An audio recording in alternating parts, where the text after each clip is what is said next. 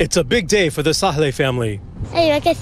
I'm gonna hug her so much. Speaking through an interpreter, little Maya says she can't wait to be reunited with her sister it seems ridiculous and it seems like overkill, right? This 10 year old girl needs two waivers to be able to come to the US to be with the rest of her family. Amir Naim is one of the immigration attorneys fighting 10 year old Raghad Saleh's case. She's been stuck in Egypt for the past five weeks alone, unable to immigrate with her family to the United States as they flee the civil war and famine raging in Yemen. Her father came to the United States four years ago to get a job and save up before his family arrives. The family traveled to Egypt to get their immigration visa, but Raghad's visa was delayed without much explanation. With the threat of losing their immigration, the mother made the difficult decision to leave her daughter behind.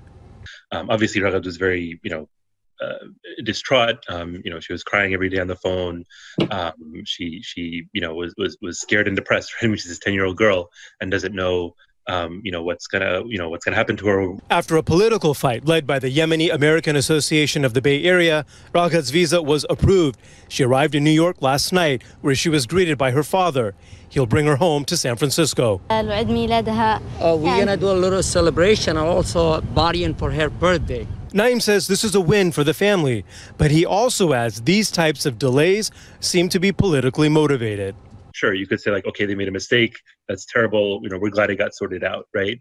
Um, but you know, the administration has like a very clear pattern of you know, in the most charitable interpretation, uh, disregarding you know children's need to be with their parents. Thank you so much Raghad's flight arrives at SFO tonight in San Francisco. Anser Hassan, ABC 7 News.